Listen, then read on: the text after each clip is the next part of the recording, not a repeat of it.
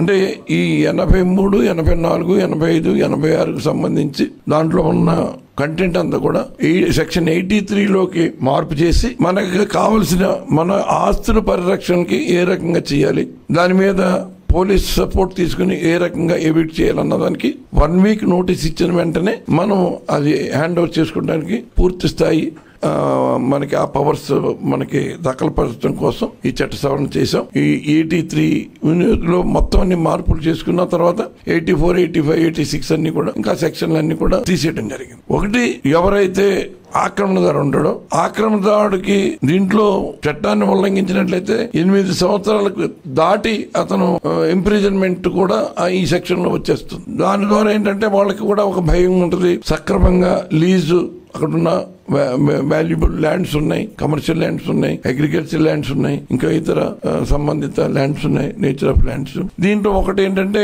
కొంతమంది లీజు తీసుకుని పాడేసుకుని ఆ డబ్బులు కట్టకుండా లీజు పెండింగ్లో పెట్టి రకరకాలు చెప్తూ అక్కడ కొన్ని ఇబ్బందులు క్రియేట్ చేసే పరిస్థితి ఉంది. ఇవన్నింటినీ కూడా పరిష్కారం ఈ అమెండ్మెంట్ ద్వారా.